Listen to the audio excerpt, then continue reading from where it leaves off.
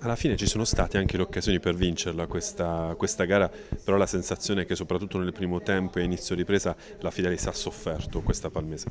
Sì, abbiamo sofferto perché loro erano, si chiudevano bene 4-5-1, bene, poi ripartivano con, con uh, bene, bene uh, e noi abbiamo avuto la frenesia nel primo tempo di voler trovare subito delle, delle situazioni che ci portavano alla finalizzazione, cosa che contro una squadra che si difende in quel modo con nove persone sotto linea palla non è, non è facile. Um, quindi poi meglio, molto meglio il secondo tempo, ma soprattutto abbiamo alzato il livello agonistico che forse era quello che uh, al primo tempo uh,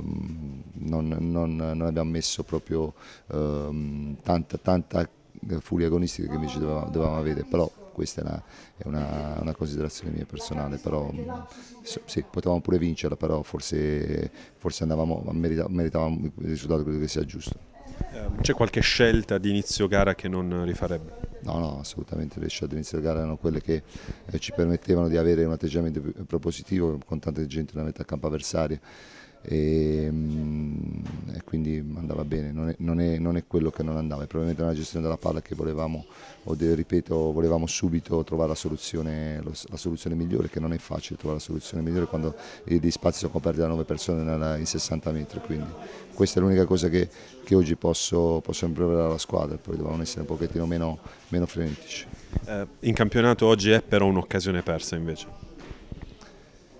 Sì, sì, se, mm, se guardiamo, guardiamo, la classifica, eh, però l'ho detto in conferenza stampa, questo è un campionato dove bisogna, bisogna prendere per buono tutto quello che arriva. Eh, certo ogni volta vorremmo vincere, tutti quanti vorrebbero vincere, basta vedere i risultati, i risultati odierni, quindi non, bisogna raccogliere quanto più possibile. Poi ho detto a fine, a fine anno uno traccia una linea e vede dove, eh, dove, arriva, però bisogna raccogliere tutto, non bisogna, eh, adesso non bisogna pensare che questo sia un punto, siano due punti persi, esattamente sono due punti persi, adesso come la pensiamo, eh, probabilmente eh, la pensiamo tutti in questo modo, però intanto mi, ci teniamo a questo punto, che non si sa mai che ci potrà, ci potrà, sicuramente, ci potrà sicuramente, servire, ci dà, eh, ci dà un pochettino di, di continuità rispetto alla partita di mercoledì, ci dà la possibilità di lavorare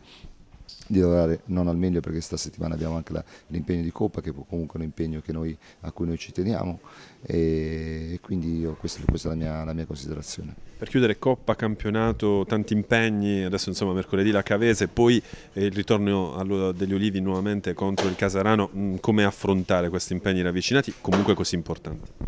No, no, li, li, affrontiamo con la massima determinazione perché poi è la, il massimo rispetto di, di, tutte le competizioni. Siamo arrivati al, eh, fino, fino, qui in Coppa, è giusto che eh, cerchiamo in tutti i modi di, eh, di onorare l'impegno e cercare di, eh, di, prenderci questa qualificazione. Eh, allo stesso tempo prepariamo anche la gara di, la gara domenica con il Cassarano che è un altro impegno, alla, alla, alla pari di tutti gli impegni di campionato sono tutti impegni difficilissimi.